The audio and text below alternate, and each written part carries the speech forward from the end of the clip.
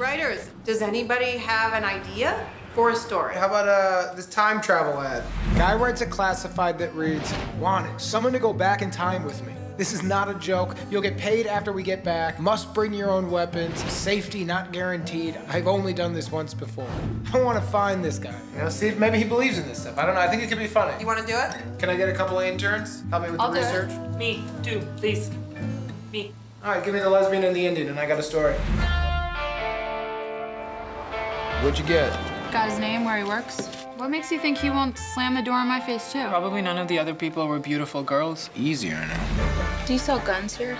Something sexy and affordable with killing power? Sorry, pest Well, problem? if your ad had been written properly, I may have a better idea of what I need. I hope you worked harder on your calibrations.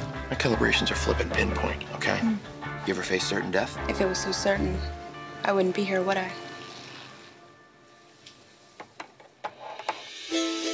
I think you're ready for the next steps in basic training. I think I'm getting better than you. But let's not get ahead of yourself here, okay? I'm certain I'm being recorded. I'm certain I'm being followed. What's wrong with this guy? What makes you think there's something wrong with him? Because he thinks he can go back in time. What are you going back for? The mission has to do with regret, mistakes. No matter how tempting it will be, we're never, ever gonna say, hey, leave your Star Wars figurines in the box because they'll be worth like hundreds more. So, Kenneth, why are you looking for a partner? The world is mostly full of jank holes. Take these creepy glasses off and put these on you. That dude right there crushes chicks. I believe that there are purists out there, and that's why I put that ad in the paper. I think you're ready. I trust you. You should. There are people following him. There are really people following him. This is intense. Going 15 miles an hour. You come to that launch site, you take my hand, and I'll show you who can't time travel. What's your story about?